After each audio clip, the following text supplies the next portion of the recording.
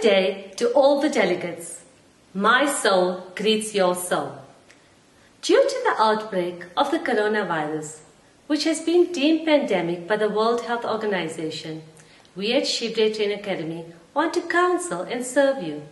We have put together a Zoom online free mini workshop. We bring to you an understanding of how to be mindful and counsel yourself and others during this time and to avoid panic or hysteria. So let me take a deep breath and start the first part series of self-help techniques in counseling yourself. Number one, be grateful. In these 21 days, show gratitude to your parents, your children, the Mother Earth, guided angels, your teachers, and to yourself. Number two, be calm.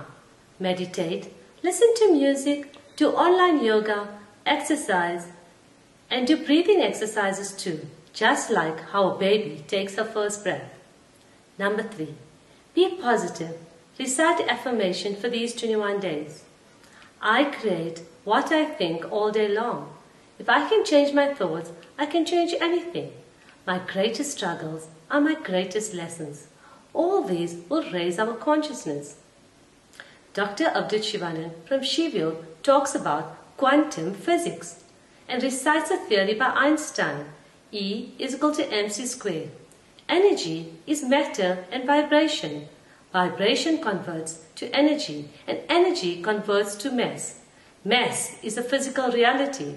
So let's raise our vibration in thought, exercise, service to others, and whichever faith we belong to.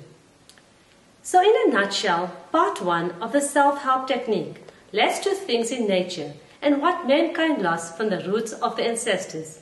Simple living, simple eating, simple thinking, love thy neighbor, to selfless service, and spread unconditional love to the whole universe. Mankind are all one, no matter what the situation or challenge.